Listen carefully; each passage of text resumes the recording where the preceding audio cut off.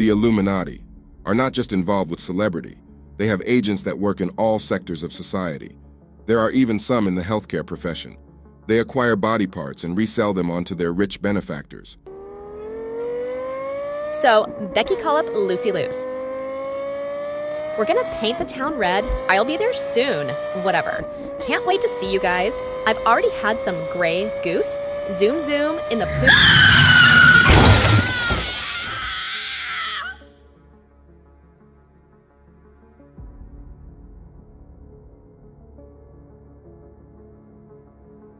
Hello, nurse. I've been looking for this patient. Where do you think you're going with her? Hello, Dr. Parker. We were just bringing her to surgery. She seems stable, but we will need a surgeon to take a look at her. No, nurse. I've already looked at her. She's beyond care. Surgery is way too dangerous for someone as weak as her.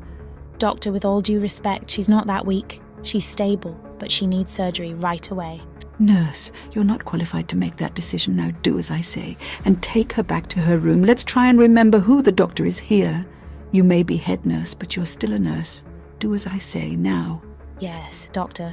Of course. But I will be making my feelings clear with the board. But yes, I will bring her back to her room.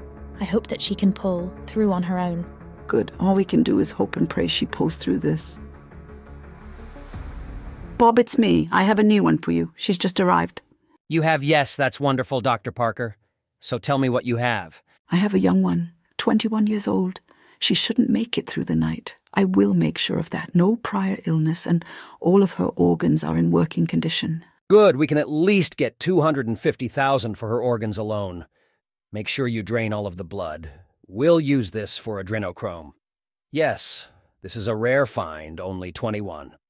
Good work. Call me when you have everything in place. I would like to say that this is a fake story, but this is happening right now as we speak. In every profession, there are those who exploit it, and wherever exploitation takes place, the Illuminati will have a stake in it.